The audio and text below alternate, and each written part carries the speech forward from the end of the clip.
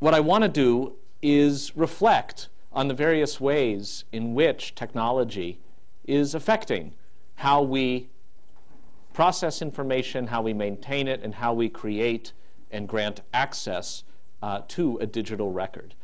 And for that, I want to offer up first a, a framework of sorts. Uh, so here's the framework. It's kind of McKinsey-esque in its four quadrants. Uh, it's a chart with two axes. And along the x-axis here, I divide it between what I call hierarchy and polyarchy. I don't know if these are the perfect words for it. I'm open to ideas. But here's what I mean by it. I mean on the left side of the spectrum, a system for which there is no alternative, either because there just isn't, or because law precludes it, or for any other reason, those subject to the system don't have a lot of choice, or as we might put it in, in some theoretical terms, they don't have the option of exit. They exist within that system, and that's it. On the far right here, not politically speaking, you have polyarchy, which is to say there is choice. And the more choice there is, the more you go to the right on that spectrum.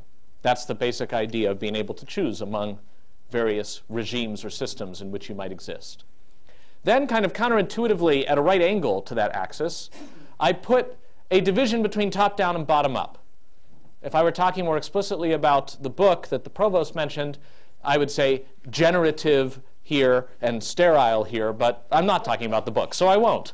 Instead, I'll say top down and bottom up. And by that, I mean the extent to which those empowered to shape the system, to make its rules and enforce them, are in identity with the people of the system. To the extent that there's a separation between those who make the rules and those who live under them, we head towards the top. To the extent that there isn't a separation, that the rules or constraints, whatever they may be, emanate as readily from one person as another within the system, it ends up at bottom up towards the bottom. Okay, so with that kind of introduction, stipulation, we can start to deploy the various rough forms of government around this chart and see how they might map out. So with apologies to political scientists in the room who are about to witness a bit of butchery, here we go. So in the upper left, we might put something like authoritarian. That's some regime by which the rules are pretty clear. There's lots of them. They're enforced upon you, and you don't get to make them. And generally, you don't get to leave, which is why many authoritarian regimes, as part of being able to enforce rules that are so potentially disagreeable with the people who live under them, it's really hard to get a visa out. Otherwise, everybody flees. You might put a little bit further down, maybe a lot further down, but still north of the horizontal axis, a democratic system. And the reason we would put that there, I think, is because this is going to be more responsive to those regulated than an authoritarian one, because there are regular elections. You can always throw the bums out. But the bums aren't you, which is why you get to call them that. They're different from you. And there's only this indirect, ongoing dialogue that's rather crude between those who regulate and those who are regulated, but every so often, like the spy in Stratego get to kill the general, every so often they get to determine the professional fate of those who make uh, the rules. It's about as subtle as I once heard grades described as by a law school colleague who said grades are like feedback the way that hitting a mule across the face with a 2 by 4 is feedback. I never forgot that. I'm not sure why. So, um, I, of course, by democratic, I don't mean you know the Democratic Party. I suppose, in a way, what I'm really describing is a Republican form of government by which there are representatives. So I don't know. We could call it demublican or something. But I mean by that representative government. All right, moving right along. We might have over here elements of federalism, or in the European Union, the idea of their structure, which includes a lot of subsidiarity, where, okay, it might be still not including very much the people down here except via elections, but the point of the federalist system in theory and the federalist experiment is that you have choice. At least as long as you're willing to pick up stakes and move somewhere else, you don't have to live in Utah. I assume you all know that since you don't live in Utah. But you don't even have to live in North Carolina or wherever. The idea is there's high transaction cost in moving, but less and less over time. Uh, uh, railroads are getting faster these days, I'm told. And that's what moves this to the right towards polyarchy. It's many systems and maybe provokes a certain kind of competition. Speaking of competition, we might put on the very far right here, maybe I do mean this politically speaking, but that would just be coincidence, corporatism. And by that I mean literally markets as they are classically understood, which is to say, there's a product you want, and the corporations that make that product or choose to enter that market are desperate for you to buy it. They really want to please you. They want to make the price as low as they can get away with if it means more sales. They want to shape it to your desires. And in that sense, there's the same kind of feedback between those who buy the products and those who make them, the way there is between those who pass the laws and those who live under them. But still, we would not mistake the entities that make the products for the people who buy them. I don't get a vote in making the product. I don't especially get to walk into the building and start making my own and be like, great, I'll have 10 million of those, please, by Tuesday. It's still a difference between those who create and those who buy the creations. Okay, moving right along. Down in this corner, we might put anarchist. Definitely, well, I don't know if it's far right or not. I won't get into that dispute. But anarchist in the sense of we don't want any government at all. The more you just have people able to do what people do, the happier we'll be. And sure enough, then, the source of constraint is as likely to be the person next to you as it is those bureaucrats in Washington or wherever. That is a sense of anarchy, for better or worse, in that the regulation upon you, the constraint upon you, could come from anywhere, just as you could be a source of it for anyone else. And that's why I might put in this quadrant somewhere, probably a little bit up as it is placed, libertarianism. At least that strain of libertarianism that isn't we need a government to come in and greatly protect civil liberties libertarianism, but rather the kind of libertarian that is highly skeptical of government at all and says the best security is a shotgun.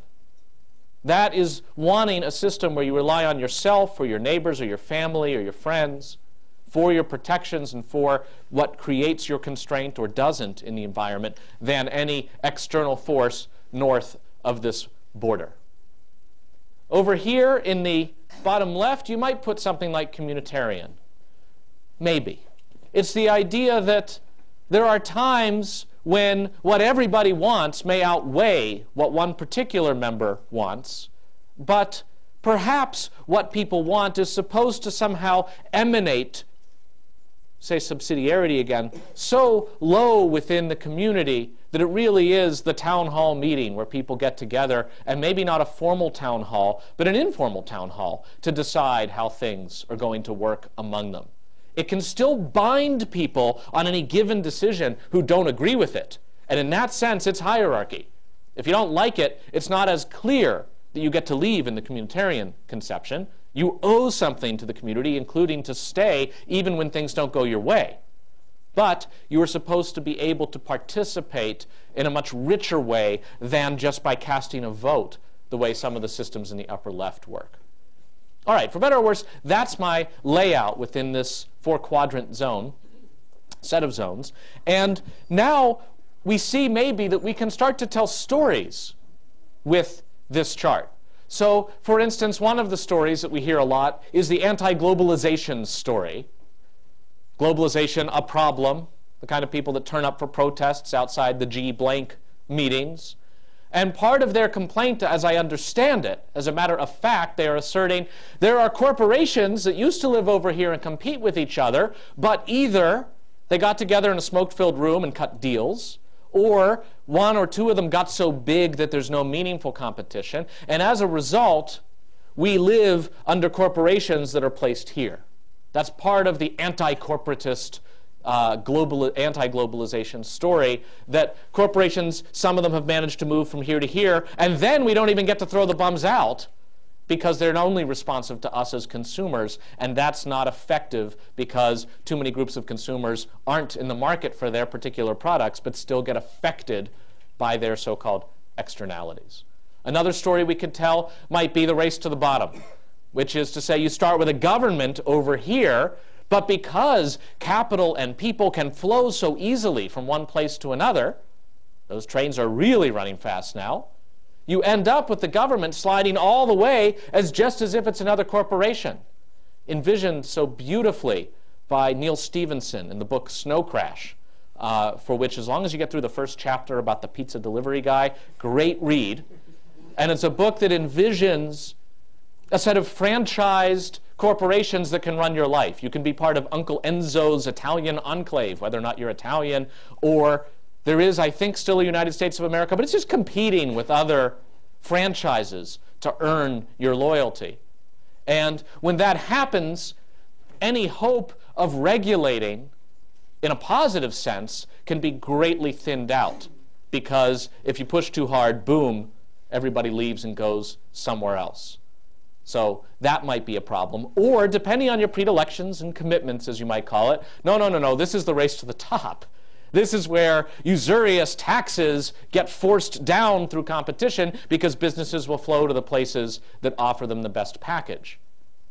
I think it was just recently uh, a town in Kansas, Topeka, just renamed itself Google for the next month in the hopes of attracting Google's attention as a way of uh, giving it uh, preference as one of the sites for new broadband deployment. What's that? It's the capital of Kansas, but now it's Google is the capital of Kansas. Particularly hard to Google. Whenever you Google Google, doesn't it feel weird? You, do I really mean to be? Yes, I want to Google Google right now.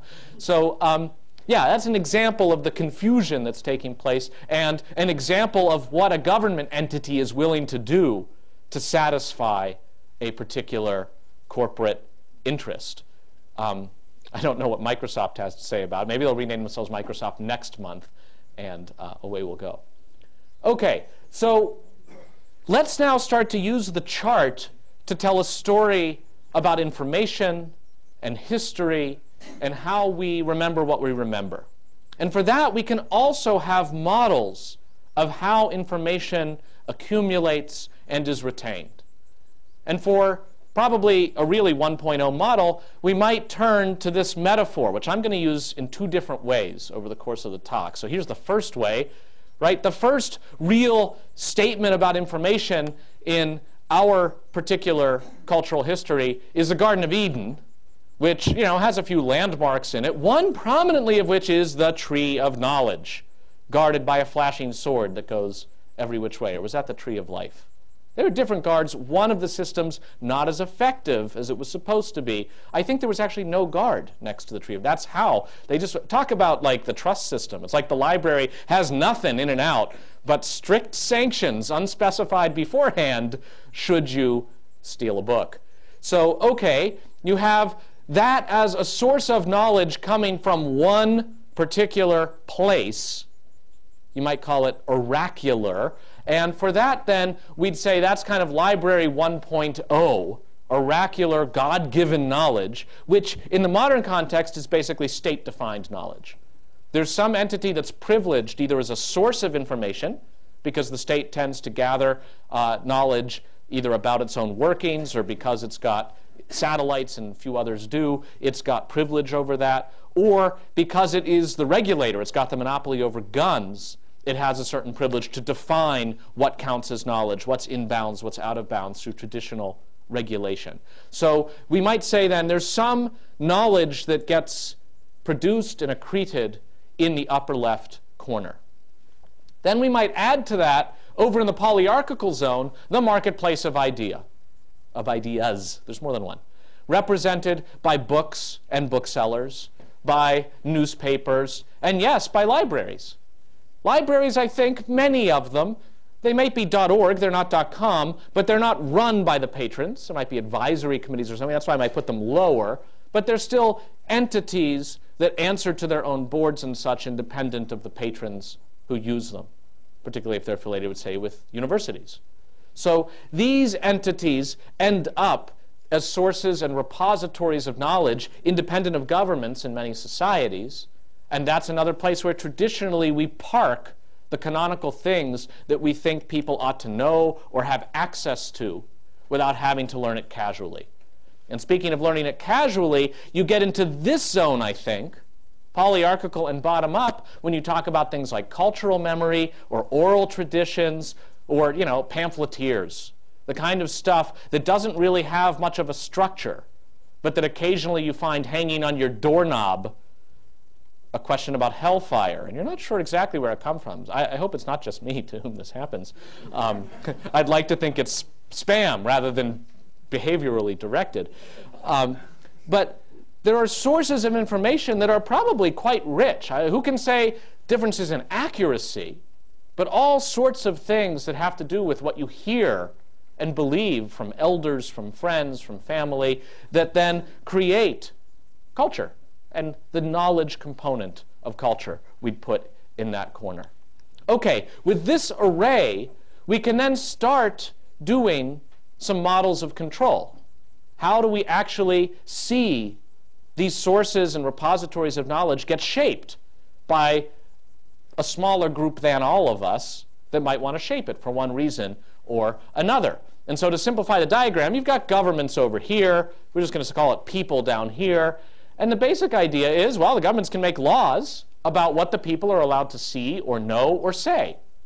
You know, sedition or copyright infringement or you name it. There's all sorts of laws. Defamation, triggered by fellow people, but mediated by the government in most cases there, that have to do with what you're allowed to directly utter or be the source of, whether or not you launder it through another platform.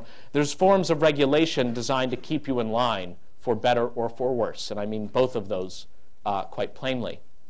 And then there's a form of knowledge shaping to people who really, where does knowledge really repose at the end of the day? It's always got to be people, right? I mean, a book is just a book until some eyeball reads it and decides to comprehend what's inside.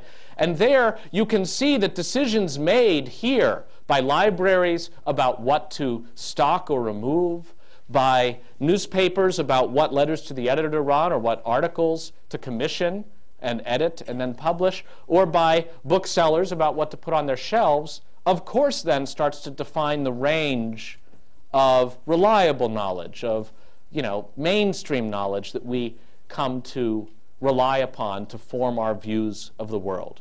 And there might be reasons why these entities, for their own purposes, may want to shape what they send you. Or there's, of course, a move where governments will tell these guys what they are and aren't allowed to do, because there's fewer of them than there are people. And by doing that, governments have a bit of a shortcut, and that in turn ends up shaping what people detect through that indirect route. And in fact, this is a story we can still tell about the internet. And it's a story about the internet that we've heard from, articulated so nicely by people like Professor Boyle, Professor Lessig, uh, Professor Reidenberg, they saw, as we moved from an online configuration in 1990, by which you can basically replace the booksellers here with these gated proprietary services, these gated communities that people would get access to. But the configuration is still the same.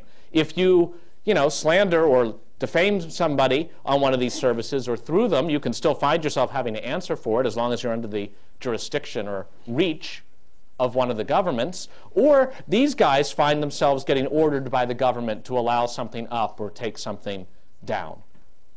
And the key move as the 1990s unfolded, I think, is to see that these things start to get first added to by the internet, which is developed, the internet itself developed in this quadrant. There's no venture capitalist behind the internet as an idea. It wasn't like FedEx, like, let's just sit down and try this out. We'll paint a bunch of planes and put on a bunch of shorts and see what happens. it's like there's people experimenting about networking in a much more bottom up kind of way, which is why these guys didn't see this coming. They thought they were competing with each other, and I think it's an important lesson that no matter how much competition you have, what you got were different shades of one color, different services, all of which were pretty much competing along a very uh, narrow and strained set of axes. And then the internet comes along, and unlike each of these and other counterparts I don't name, it doesn't have a main menu. It doesn't have a CEO. It just assumes that the bits are going to get from here to there, and you'll figure out whom you might want to communicate with, person or corporation or organization on the other end. So, in fact, what you see as time goes on is that the internet starts to become so popular and garner so many subscribers that it starts moving leftward in the sense of it becomes hierarchy. It's like if you don't want to use the internet, yeah, you can use these, but these guys start to fade away. And it's as ISPs are introduced, actually, a commercial element, let's be clear. That's up here you have a great conspiracy between the internet as protocols and the ISPs as commercial implementers of the protocols that want to make money. And this wonderful conspiracy between quadrant 2 and quadrant 3 ends up kicking the butts of those that are only in quadrant two, either killing them outright or forcing them to rebrand as basically mere ISPs, maybe with some content thrown in. So by the time you see things moved forward, you basically get to a point where you've got internet and ISPs is almost the only game in town, and you've got applications running on the net with no business development deal needed to put Friendster in front of people and then Friendster becomes wildly popular. Who knew? And it's a dot com, so it's up here. But then it turns out Friendster isn't as fun as we thought it would be. But other stuff comes along and starts occupying this quadrant. And by the time I guess we get to 2008, actually, first make one thing clear. Each of these is capable of shaping what its subscriber sees and experiences the way that those intermediaries and corporations of a prior generation did too. And sure enough, you can still try to reach people over the net who do bad things. It gets a little harder because you don't have built-in authentication and identity the way you did when the proprietaries were in town. But, you know, if people screw up just a little bit, you can usually catch them, at least identify them, and then it's a question of do they want to move to Sealand or not to avoid the reach of your jurisdiction. Sealand, very small, but real, sort of real. Anti-aircraft platform abandoned off the coast of England. A guy who works at a shellfish processing plant comes over to Sealand and like declares himself Prince Roy. I think it's still bottom up because he's the only subject as well. Um, uh, but then they get invaded by some German businessmen, and like a war breaks out, and the businessmen become prisoners of war inside the pylons of Sealand, which remember is an anti aircraft platform. Um, and then there's negotiations, and they're finally released. And anyway, it's worth looking up the Wikipedia entry or paying a visit if you really want direct evidence. But the modalities of regulation remain the same. And that's why when Professor Boyle said in the late 90s, that we think that if you add to this mix the likes of China over here as a regulator, you know, it might seem that there's what he calls a libertarian gotcha. That if China's going to adopt the internet and all that comes with it, it's going to face the attenuating problem of how to regulate its own people because of the difficulties of regulating the internet. He says, no, not so.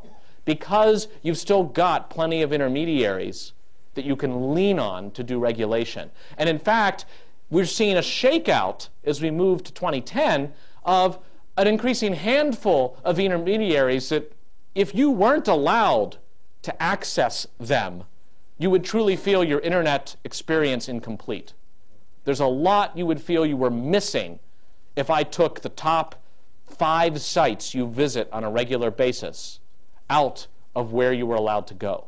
And that observation says, hmm, maybe the polyarchy isn't as poly as we think.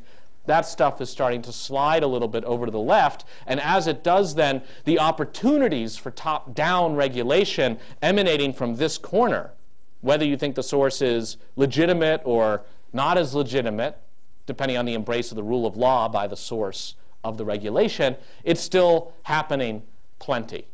That's basically the blowback story that we still, some of us, tell in 2010, even as we know that your access to information, your ability to get to stuff your government doesn't want you to see is greater today than it was yesterday, and tomorrow it's going to be a little greater. That's a weird thing to reconcile. We can talk more about that. But there's still this modality that exacts a real influence on things. I would probably fit library in here somewhere as well. If you are from the library community, you have different values. You may be less likely to cave when this orange arrow comes looking for you. It was libraries that led the charge objecting to certain provisions of the record uh, retention and collection provisions of the Patriot Act, saying that you know what books people took out ought to be something that the government can get with a national security letter. Interesting because you know what sites you've visited through your ISP or what you've been doing on Google is in a way far more realistically sensitive than the books you take out. But it was the libraries that I think led the charge because of their values that weren't having as much to be reconciled with some of the other values in dot .com land. But even libraries are feeling some of the push here, and it may not just be regulation directly from the governments, but regulation effectuated uh, by the governments, initiated by third parties. I mentioned defamation uh, as that before, but copyright is a good example too. Copyright rights exist because governments decree them so, and they're enforced because governments enforce them, but it's the private parties that hold the copyrights that do it, and that's how you can get to digital rights management and libraries still enmeshed, right? This is the Cleveland Public Library that has a new program to lend audiobooks out in a 2010 kind of way. So uh, here's one fellow's account of what you do. You find the book, you check out the book, you get a link, you boot up Windows, you need special proprietary software, you install it, it doesn't work, you Google your problem, you need an updated security system, you open the player, you download the certificate, and uh, then you have to update the player, you install the update, you reboot Windows, you start up the proprietary thing again, you get another error message, you give up, you give up on the library, and you go to BitTorrent. Um, so that's an example of libraries getting caught in the middle as they are facing more and more refined and contractually based, not just copyright based, but contractually based restrictions on what they can do. And if they don't want to do it, that particular monopolist provider of information, who has monopolist over that information, not necessarily information like it, but that particular information, it's like take it or leave it. That's a real dilemma facing the libraries. Okay, but let's move aside just from the library angle on things and look at some of the ways in which the rise of the net and of digital technology is changing both how we perceive risks to the public record and how we insist that it be revised in some way. And let me be clear by we, I don't mean the bottom two quadrants, I mean somebody in the top quadrants. So, all right, what might that look like? You know, there's all sorts of reasons you can see some more noble than others, but it's hard to find somebody who never thinks the public record, which is to say that which is available to the public, should be left utterly untouched. Anybody who believes that in Q&A, I will work mightily to come up with the hypothetical that says, okay, I would get rid of that. Um, and uh, here's some of the examples. And of course, it's probably worth it to break it down by source. Is it a government source? Is it the particular author who's asking to have it taken down? Or some third party that feels harmed by the information? And beginning uh, early, we saw ways in which the internet was raising dilemmas here. There was one particular science paper that just showed how easy it would be to poison the milk supply. Milk Terrorists would even go after milk, the most wholesome substance in the world. Well, they haven't yet, but this paper says they could. And then you end up with those charged with defending us panicking, being like, why do we need another problem to look out for? Like, what is this paper really useful for? When you balance out the harms, come on, guys, just ditch the paper. What does it take to get this information out of public view? And of course, you get what's these days called the Streisand effect, where the more you try to say ixnay on the ilk may, everybody's like, what, what, what's this I hear about the milk supply? Until finally it even reaches caves where they hear about what's going on. Same thing happened um, long time ago. This is 1998 over the EPA's luridly titled Worst Case Scenarios. the EPA asked various chemical plants and factories to say, imagine the worst thing that could happen that could hurt as many people as possible involving your instrumentality. You know, bomb goes down your smokestack. Tell us what could happen next. And they compile this database of worst case scenarios for the purpose of informing nearby people, just so you know, you all could have something really bad happen. That is all.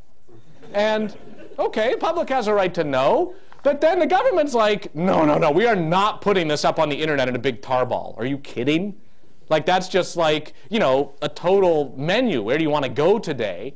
For those who have one bomb and need to know which smokestack is most productive to send it down.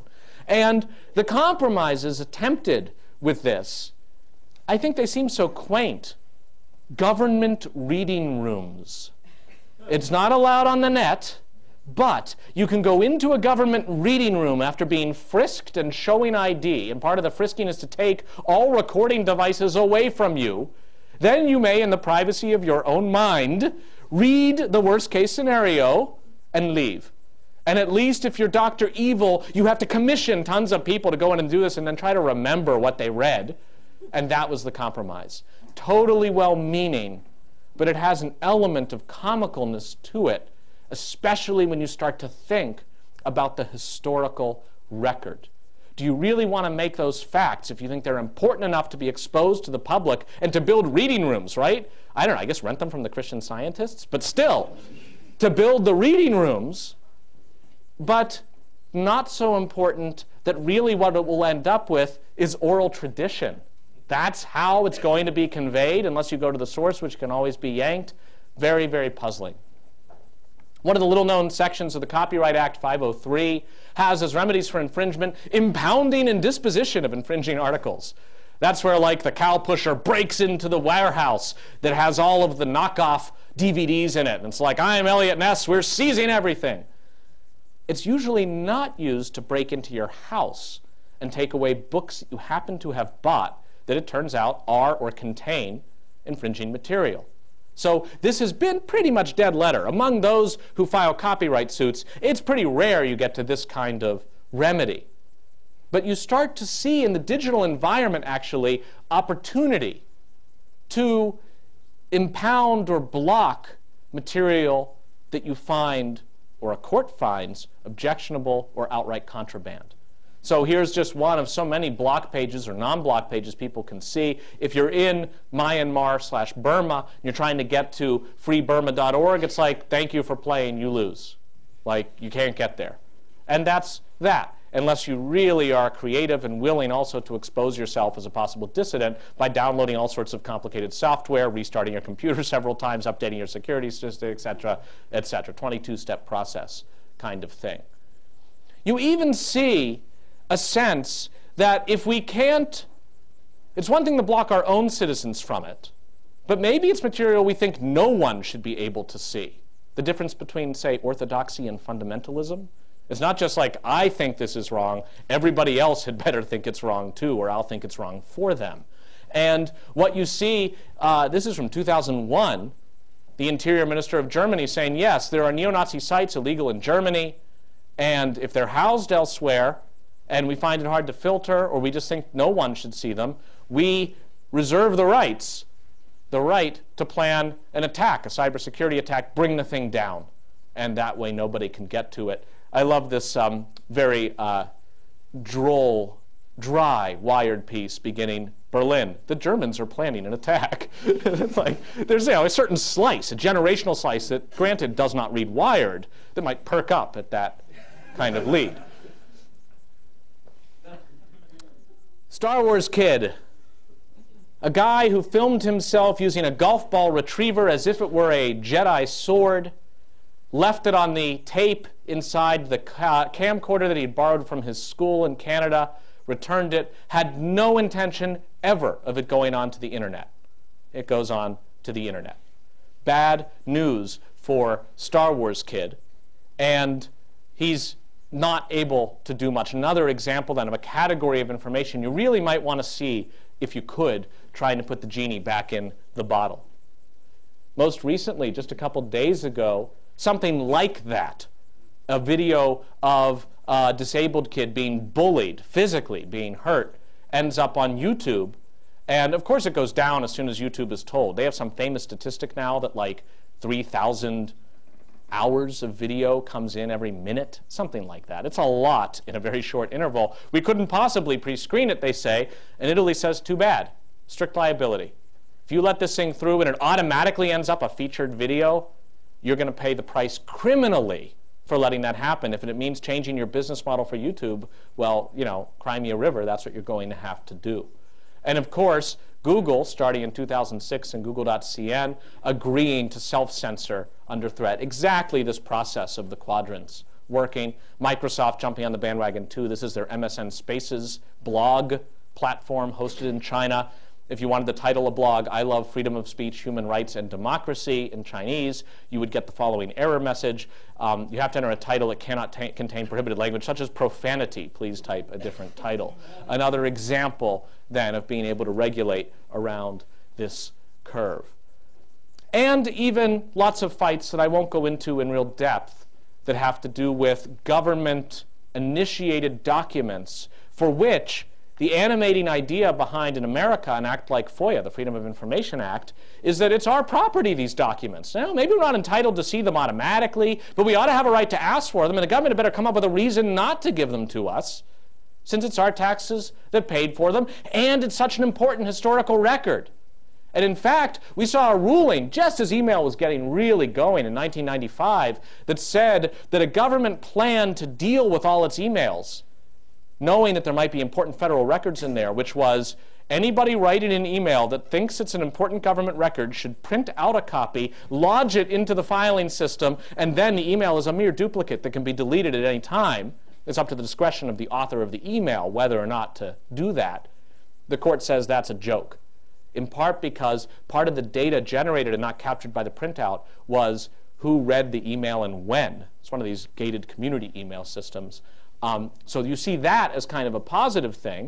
Of course, most recently, a report written last year, just released to the public through FOIA over the past few days, talking about issues in the Department of Justice and various lawyers there, does note, this is now in the voice of the report, we were told that most of Yoo's email records had been deleted, were not recoverable, and that's it. You know, like, sorry, can't get there. And when you only have it in one place, it can be easy to destroy the record before it even has a chance to settle. And like this is not a new problem, right? For years, businesses end up with records that turn out to have a certain Newtonian momentum to them because you have to affirmatively shred them. And what if it's something you need? So sometimes they'll just go on shredding escapades They'll hire services like this Accurate Document Destruction Inc. We bring new depth and dimension to document destruction. The third dimension, finally. I know documents are two dimensional, but if they're three dimensional, we'll destroy them too. Um, but the interesting thing to me are services that actually promise to turn the Newtonian momentum into Aristotelian motion, where unless you keep pushing it forward, it stops. So an example with that would be a company that used to be called Disappearing Inc. Now it's called Omniva. I think it's since folded. But here's the plan. The plan is hey, the problem with email. It's easy to distribute and nearly impossible to erase. Yes, that's the problem with email. So that's bad. They have a solution that basically entails every email you send having to be read by a proprietary kind of client, just like the Cleveland Public Library has for the audiobook. And it gets read and displayed using keys. You get the keys from the mothership, and the keys allow it to happen. The keys are time based, and they're just set to expire after, say, a year. And exactly one year in, that key from a year ago gets thrown away. And now all the copies out there that require that key to be decrypted no longer accessible. So you see the flip then. It's not it exists until you destroy it. It's it doesn't exist unless you affirmatively find a way to save it. And that then starts to get implemented in various places. In fact, one of the lesser known features of the whole Google Books system should it come about.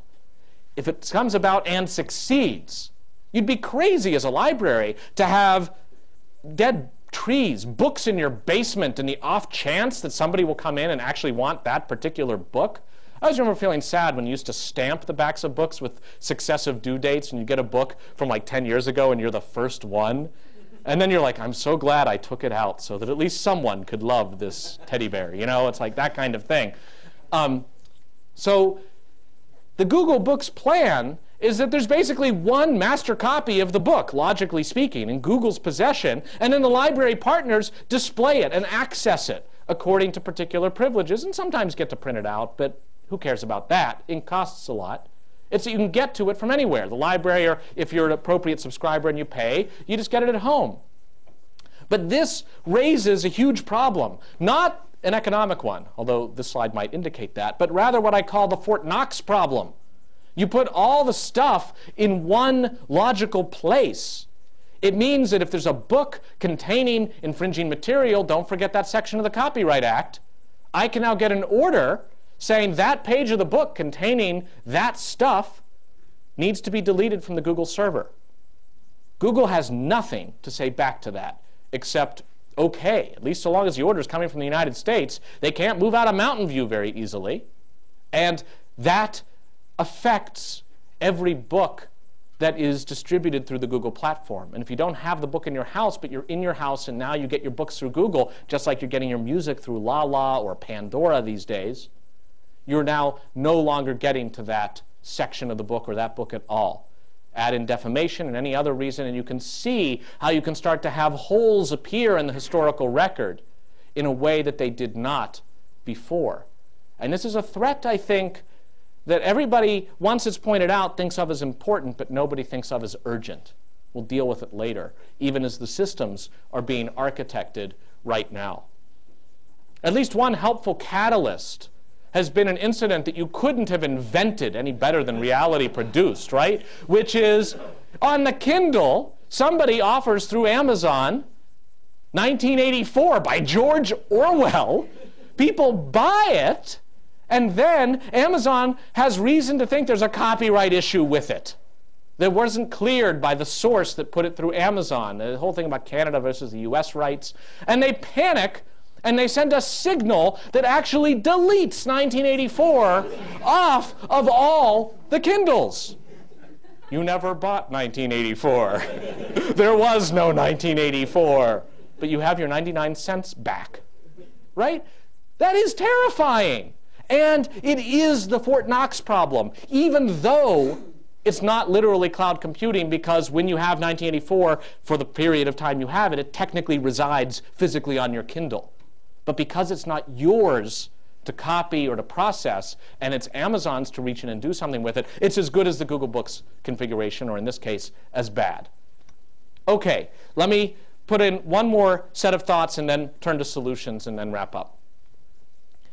There's a chance of compromise, and I want to ask you if you think it's the kind of compromise that, like the government reading rooms for the EPA worst case scenarios, is like the worst of all worlds, perhaps. Or if you think, nah, this is what could make it work. What if the record wasn't binary? It's not like either the record exists or it doesn't, but like it exists depending on where you are. Because here's a video long time ago put onto Google Video, now merged with YouTube for the most part, and it's just somebody in Iraq actually a member of the US military, films a controlled detonation of an IED. They found it before it went off, they blow it up to make it safe. If you're in the UK, this is what you see when you push play. If you're in the US, this is what you see, which looks to be a statement of physics. But we know physics is universal, or at least we'd like to think so. What it really means is that the person submitting the video actually gets to restrict where it will and won't be shown. And then what record is available to you turns out to depend greatly on where you're from. And jurisdiction is the most common way, but as soon as you get into more credentialing, it can be like, I only want this video to be shown to Republicans, not Democrats, or vice versa. And it's this kind of thing that I wonder, you see it as possible compromise, because now YouTube can say to the government of Thailand for a video that insults the Thai king, and is in fact illegal in Thailand, fine, we won't show it to the Thais, but we don't have to take it down. Is the glass half full or half empty when you start to see that happening more and more? And there's no one universal vantage point except Mountain View from which to see the mountain of all the information. All right, one other uh, uh, piece of the puzzle worth noting. And this is what I call scratching the historical record in the sense of trying to distort it or not take down facts, but surround it with so many decoys that you have no idea what's true or what's not anymore. And this was an idea suggested as soon as Napster came about. What if we flood the Napster network with songs that sound at first like the songs people want, but then devolve into Madonna swearing at you for trying to copy her songs, which she did. And this idea, nearly a decade later, nine years later, is now, yes, let's do the same for ebooks. Let's flood the network with ebooks that look like the original books, but in fact aren't, and so subtle that you might have read the whole thing and enjoyed it before you realize that Harry Potter and the Walk Up to Dragon is a Chinese knockoff rather than something commissioned by J.K. Rowling. So we see this happening whenever somebody powerful has a stake in information. Here's Rumsfeld complaining about how the terrorists are doing it right? They are much better at manipulating the press than we are. you know, we manipulate the press, but we're not that good at it. We have a lot we can learn from those guys. And sure enough, you see, part of the official doctrine of our armed forces includes psychological operations, which is to convey selected information and indicators. What a wonderful word, indicators. To foreign audiences to influence their emotions, motives, objective reasoning, and ultimately the behavior of foreign governments, organizations, groups, and individuals. Now that's interesting. Of course, it's a little vague on whether the information or indicators have to be true. I think the answer in practice is no, they do not have to be true. That's why we limit it to foreign audiences. You can't poison the well at home, but hey, feel free to let it fly anywhere other than the US. And sure enough, we saw over the course of many years in foreign theaters of operation, right, groups like the Lincoln Group, which um, it turns out was paying people to write under nominally their name, but in fact the Lincoln Group authored it, particular editorials that were favorable to the US government as if this was the view of the people getting paid. And they agreed after there was an investigation. Um, there's a certain degree of competence professional in information operations. And then um, here's what the report said. This was a U.S. government report. Um, that they complied with applicable laws in their use of a contractor to conduct psychological operations, their use of newspapers as a way to disseminate information, part of our official policy. And then you go back and look at those newspapers 10, 20, 30 years later. Whether you're an American trying to learn something about the environment or an Iraqi. And it doesn't say later, like a scratch off lottery ticket, by the way, this was fake. It's like, no, it's part of the record. And that's that. Now, I mentioned we only do it on foreign soil. We don't do it at home. And in fairness, this happened on foreign soil. This was uh, in Latvia Tony Snow, the president's uh, uh, press secretary, giving a press conference, and he starts off some things, and then he, gets asked a question. He says, We're going to have to go off the record for that. And what does that mean? Well, as you look at the transcript uh, on background, what it means is now instead of it saying Mr. Snow, it says senior administration official. And he's up there with Dan Bartlett. They've both been talking on the record for a while, but now all the answers are senior administration official, and the press goes right with it. Here's a press question. Can I get back to something the senior official on the left said? Your left or our left? It makes clear that it's my left. And then I'll help you. Even though I'm on your right and our left, I will take on. It's like, what? What bizarre kabuki theater. But then you look at the newspapers the next day, right? The old gray lady, the paper of record. Here's the New York Times about this issue that was discussed at the press conference. The president has confidence, says Tony Snow. That's in the on the record part. Next paragraph, when he's joined by Dan Bartlett they go off the record. Two senior administration officials who insisted on anonymity in exchange for talking about a classified memo. It makes it sound like they're, you know, in a parking garage playing deep throat, when in fact they're just at the podium being like, now you cannot say who we are. It's not like they put on sunglasses. It's like everybody in the room put on sunglasses and they could stay how they were.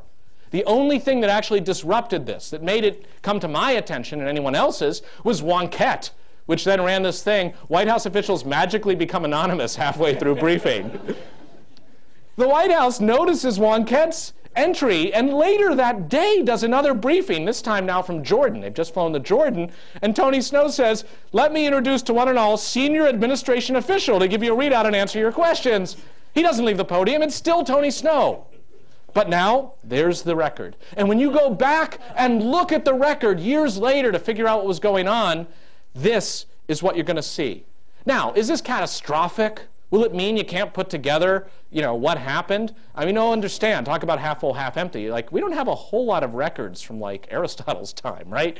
But this is just so pervasive that this one example is just a huge set of cracks in a lattice work that you otherwise might not notice.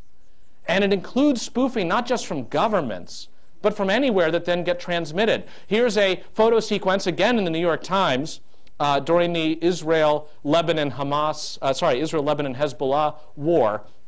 Here's a guy wearing a green hat backwards as he's talking about the airstrike that the Israelis had done in Tyre, and he's pointing, and there's rubble. And here's another photo as they're all trying to help. Here's the guy again with the hat on his back as they're trying to get to the survivors or those who were killed. And now later in the sequence, it says uh, here at the bottom, the mayor of Tyre, bodies were still being buried, and here's the guy being taken out of the rubble. And then you look, there's the hat. It's actually the guy pictured earlier in the thing, clasping his hat to his side with his arm as somebody now portrayed as someone dead. Now, is there some explanation that makes us innocent? I don't know. Maybe he fell in the rubble and they're taking him out, but not with that caption. And it turns out more and more photos produced through mainstream sources turn out to be just crudely photoshopped. And it takes a right wing guy, who's less right wing these days than he used to be, at Little Green Footballs to say, all right, this is just blatant. Come on, how clear do I have to be, people, to show you it's just copy and paste? We can go back and forth between the real photo and the doctored one. This is a Reuters photo. So, what happens first as this gathers steam? You go to the photo as linked on Yahoo, uh, oh, sorry, here's another photo where they found the same thing, copy and paste. You go to the photo as it's found on Yahoo, and it's like, oh, sorry, it's gone. You know, th there was never a photo. You're on the wrong page. You know, Oceania has always been at war with Eurasia. Just move along. And then it gets worse. People start continuing to complain, and Reuters finally gives a response. In relevant part, it says, okay, there's a mistake. The rule of thumb in the news business is you must not do more with Photoshop than you used to do in a darkroom in the days of 35 millimeter film. I, for one, feel much better about what's going on knowing that. And now they say, by the way, all the photos that leave Iraq are edited by a highly experienced and capitalized chief photographer who works seven days a week during his rotation. Well, that's good. I'm glad he gets no sleep. It's now held by a foreign photographer with 27 years experience. The guy that doctored the photos, 10 years experience. But the extra 17 years teaches you the difference. All right, I promised to talk about solutions. What do we do about the various ways in which the rise of digital technology is not necessarily making for a more complete or accurate historical record? First, Get rid of Fort Knoxes, or at least back them up. It is information after all. If you want to have Fort Knox, fine, but keep a copy of the gold somewhere else. So how might that work? Well, again, the libraries have stepped forward a little bit. There's something called LOCKSS, Lots of copies keeps stuff safe. Organized among some of the big libraries of the world. Its uh, icon is a tortoise because the tortoise lives so long and because it's so boring, no one will notice it. That's the kind of thing.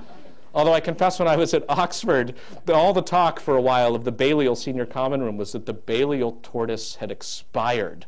And it was should Balliol get a new Balliol tortoise? Unresolved. I can't give you the answer uh, as of right now.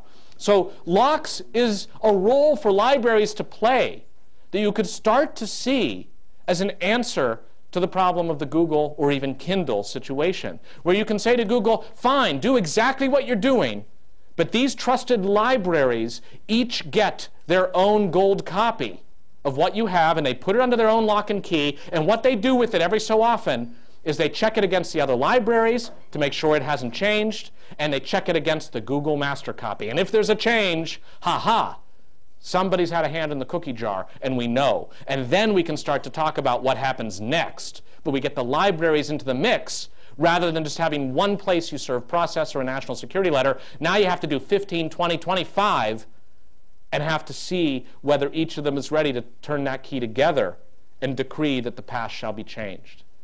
You could even see inverting the whole thing about disappearing ink.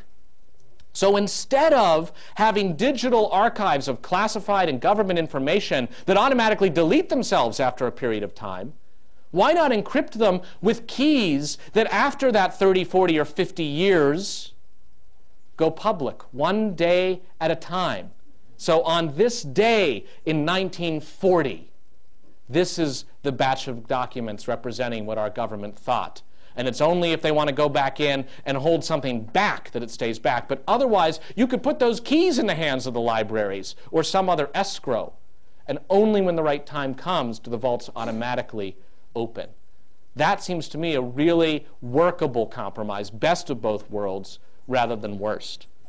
The centralization represented, talk about something started in the bottom right corner, the Wayback Machine by a guy named Brewster, taking his profits from a particular uh, search facilitator, Alexa, and he ends up deciding somebody needs to keep a copy of the web.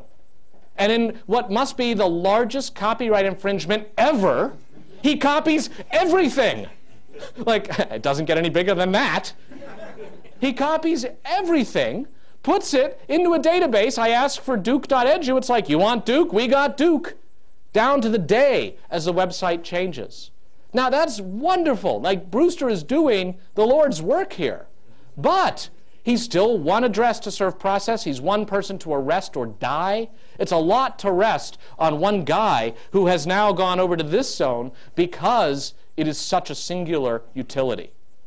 The reason I think Brewster hasn't been sued is because if you call him up with a problem, he's very agreeable. You change your robots.txt and say, not only stop copying me, but delete all the prior ones, he says, okay. Doesn't delete them. He just restricts public access because he's thinking about 50 years from now. And because it's so damn valuable, nobody wants to sue it out of existence, and it's not like he's trying to make money from it. So that kind of has so far given him a bye. But this is the kind of thing I think we could distribute as well. Lots of copies keeping stuff safe. Now let me advance a proposal that is meant to deal with the cybersecurity problem we haven't had time to go into and won't, but that also speaks a little bit to the filtering and zoning problems I talked about before. So here's an average internet user at the computer looking to go somewhere. He goes to a website and he asks for a web page and gets it. And the page has links in it. And the links often go to another site. That's the whole point of the World Wide Web. That's the beauty of it. So he then clicks on a link, which means his computer then goes off to this other site. And he gets the information and he's happy. Unless it turns out this site has been brought down by a denial of service attack, by a government order, you name it. This site goes down, that's it. He sees the link, but the link does not persist. To the internet engineers and web engineers, including Tim Berners-Lee, who built this stuff, that's a real problem. Uniform resource locators are meant to be uniform not just across place, but across time. And it's not good that they could just go down. So this is, this is today. This is the status quo. So what could we do that doesn't involve a centralized Fort Knox solution like the Internet Archive to prevent this from happening? Well, I think there's strength in numbers, and we can draw upon the principles of mutual aid, which are what built the Internet to begin with, as compared to the proprietary counterparts, in order to gather what otherwise are pretty powerless entities together into a stronger force. I think animals sometimes do it too, as demonstrated here by these elk. So, um, okay, how would that work here? Consider this proposal. Mirror as you link. So what it means is this guy asks for a website here. He sees a link. The link is to this site as this website is rendering the page of links, it actually goes and fetches the contents of the links. So it has not only the web page, but everything right under it. This guy then goes off to this site, finds he can't get there, but because of this, he can actually go up to this server and say, hey, I can't get there where you just sent me, would you mind? And this server can send him a copy. And like Brewster, being conflict averse, you can make the system opt in in the sense that before this thing slurps the contents from here before it went down, it checks to see if that's okay. Would you like this mutual aid? Which is to say, in the event that you go down, your information will persist, and in exchange, should others go down to whom you link, you agree that you will preserve their stuff. If you don't want to do it, fine. All right, no copyright problem. We'll just let you die. That's fine. But otherwise, you see exactly this happening. This extremely simple configuration, implementable through the two major and essentially only web servers in the world, Apache and Microsoft, would transform the nature of information retention and the building of a historical record that now contains so much information that is born and stays digital rather than coming out and being archived and cataloged through traditional means. The other added bonus is if this doesn't go down through a denial of service attack, but it's unreachable because of filtering imposed somewhere in the network by the ISP or by a government that using the curve can affect the ISP, this system still works flawlessly. And this website is not intentionally taking a stick and poking it into China's eye. It's just participating in a web robustness scheme that just so happens to deal with this problem as well as that problem. Okay, how do I then summarize the solutions that I'm talking about? They basically all involve the fourth quadrant. You have a problem over here that you can solve, maybe, without resort to a corporate solution or a government solution, each of which comes with its own drawbacks. This might be the zone where you can ask for help, and you can even initiate the project, like the Mirror as You Link project over here. You just start it off and see what happens, the way that Brewster did with the Internet Archive, and then it ends up over here. If it gathers enough momentum, it just becomes the fabric of the web, like the web itself did. The web started here and moved there. The Internet started here and moved there. And indeed, what we've seen is Wikipedia is one such thing that started here and now moves there. How do we know it's moved here? Because if Wikipedia has something bad about you in it, the fact that you can choose not to use it is not much solace. That fact means Wikipedia is over here rather than over here. Competition isn't exactly helping that problem. But I see this fourth quadrant as extremely powerful. So I don't know if any of you has read the book The Cartoons That Shook the World by Professor uh, Jytte Klausen, Yale University Press. They are about the Jyllands-Postens cartoons, the cartoons in which a right-wing newspaper uh, in Europe was asked to, uh, in Denmark, to uh, portray Muhammad as you see him and some cartoonists responded. Huge furor erupted after word, after a delayed fashion, got around in the Middle East, and cartoons were slipped in that weren't part of the original set and that had nothing to do with it, but they were particularly offensive. She then wrote a book about the whole incident, talking about the cartoons, and in the book had a copy of the cartoons and a ton of other depictions of Muhammad dating back centuries to show how he had been portrayed by people from the Islamic world themselves. Yale University Press, right before the book went to press, excised all the depictions, all the cartoons taken out of the book. Their reasoning was we consulted a number of people. The overwhelming judgment was that violence might occur should we print them. That's it. It might be violence. Now, I can't say that was a bad judgment. Boy, I don't know, right? I don't know what the provost is thinking. If it's Duke University Press, talk about a tough call. What would you do? You would have printed them. All right. Have I got a second edition for you? That's called calling the bluff. we have, we have a lot of Kevlar. Ah, we have a lot of Kevlar. Sounds dangerously like bring it on. Okay. So what, what do you see earlier in the letter? But by the way, these were designed to pick a fight. Of course, there he's only talking about the Jyllands-Postens cartoon, not all of the other depictions that got taken out. And then Yale University Press says, in addition, the illustrations are wildly, uh, widely available elsewhere. You can see them right now on Wikipedia, hint, hint, or dozens of other sites. That's actually a powerful point. I don't know that it's reason not to show the cartoons in the book, but the fact that you can get to Wikipedia and see them certainly affects the digital record as we know it. And why isn't Wikipedia afraid? Because Wikipedia is an unthinking information machine located in this quadrant. Jimbo is its God King, but honestly, if he tried to keep them out, I'm not sure he could.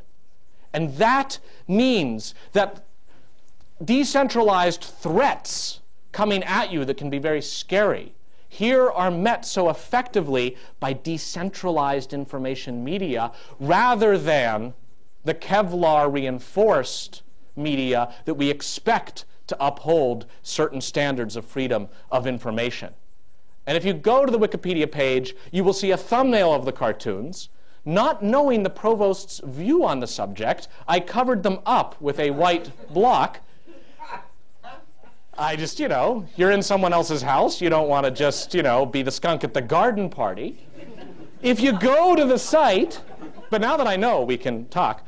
Um, if you go to the site, you see them, but it's only a thumbnail. It's very, very vague. You click and it expands, so it's one click away. And then on the discussion page, they explain that these aren't going anywhere, but here's a plugin you can use if these kinds of depictions offend you. And in fact, it will block for you only all depictions of Muhammad across Wikipedia. That's the Wikipedians trying to fashion a solution that works, and it isn't meant, as Yale University Press said, to enrage. Although maybe in a sense of smirkiness, there's a separate article on Wikipedia that shows just how many newspapers dared to print the cartoons, not in the original round, where surely they were meant to provoke and enrage, or at least provoke, but in the follow up round where they became such news, the only way to understand the situation was to look at the cartoons. And it turns out only a handful of papers in Europe dared to do it, and within the United States, none. Next to none.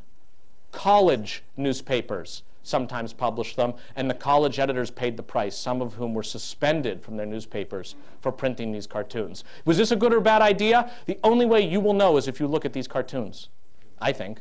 So check out Wikipedia and see what you think. Star Wars Kid, another example when you compare the difference between the quadrants. Because here, it turns out that the thing that bothers Star Wars Kid most is that people might know his name. And the Wikipedia entry on Star Wars Kid, which is predictably expansive, does not have his name in it. And if you turn to the discussion page, it's a counterpart to every article on Wikipedia, the one for Star Wars Kid has an extensive argument and conversation about whether the article should include his name. Part of the argument of which is, in a weird symmetry to the point of Yale University Press that, hey, Wikipedia has the photos, they're saying, hey, the mainstream press names him, why can't we? And the Wikipedians say, because it's not relevant to the historical record. And we're not going to do it. And they've actually come to a judgment. When you now look, it's like any addition of the real name without first establishing consensus will be removed immediately and could lead to sanctions. That's it. The decision's made. Talk about Wikipedia being in this side, not this side, right? Communitarian. Bad apples, you can't just put the name in because you want to. And the result here, I think, I wrote a, a brief op ed for the Times of London that said Wikipedia 1, mainstream media 0, describing this situation. Um, the Times of London, then, without consulting me, published it with a picture of Star Wars Kid with a caption that had his name in it. for which I then wrote a letter to the editor of the Times that just said Wikipedia 2, mainstream media 0. so, this is the power of the fourth quadrant, loosely confederated with others. And of course, you may have noticed this particular iconography, right? This is from XKCD. Here's the actual full cartoon. Are you coming to bed? I can't. This is important. What? Someone is wrong on the internet. now, maybe he's wrong, or she, but to get involved with something like Wikipedia, is to become a participant in the process of making sense out of knowledge and understanding that you might be wrong or they might be wrong or you might have a view that you're not going to change, but you still have to justify it, sometimes with people you think are absolute wingnuts and their only name is Hot Pants 15. But it's this kind of dialogue and fight. And I don't mean to say Wikipedia is the apotheosis of it, but it's a good example that I think is at the center of what should be in education. The idea that schools are running away from this kind of thing rather than running towards it and looking to basically take it over puzzles me to no end. I told you two views of the garden. I end with the second conception of the garden, which is a public park. Public park is great, people gather, and then you get the tragedy of the commons, something that, again, that Professor Boyle has written about in such um, inspiring ways. And we now can impose the four quadrants on it and try to understand when those tragedies come up. Call it litter. How do we deal with it? Well, the upper left quadrant says you have the litter police.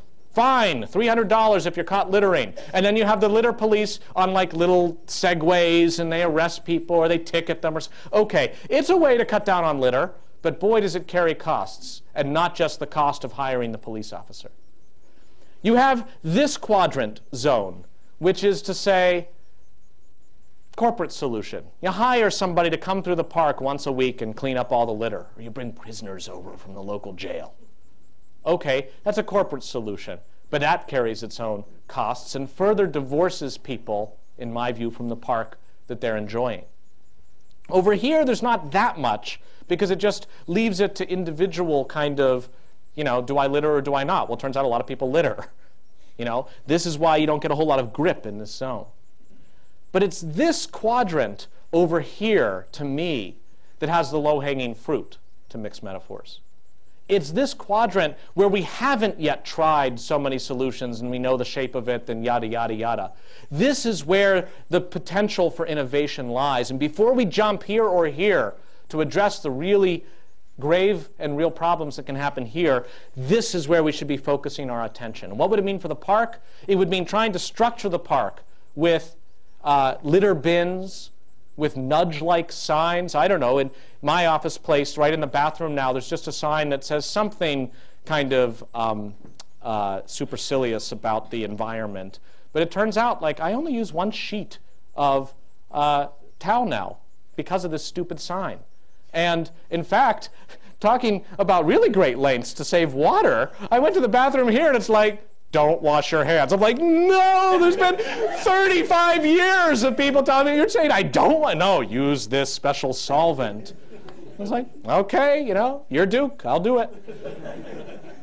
it's that kind of prevailing on people to act humanely that we know won't work for everybody, but if it works for enough, it's not just trying to implore people not to litter, but occasionally somebody feels enough identity with the park. It's their park. It's not someone else's park that they're allowed into or that they paid to enter. It's their park that they pick up the litter themselves and throw it away, even though it is not theirs. And they feel better after they've done it than if there had been no litter at all. So that's the quadrant to me that contains the most promise for maintaining, for arguing about, for producing our digital record. Thank you very much.